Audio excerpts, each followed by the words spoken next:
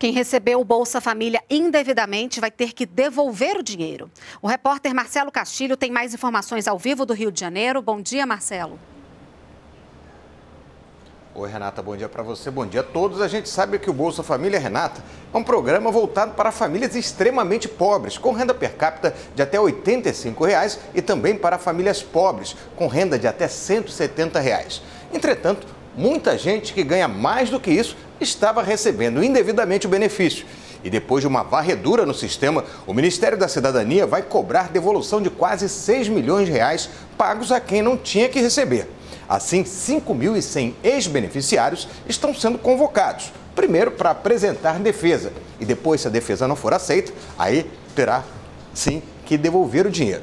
Caso o dinheiro não seja devolvido aos cofres públicos, essas famílias serão inscritas em cadastro de devedores da União.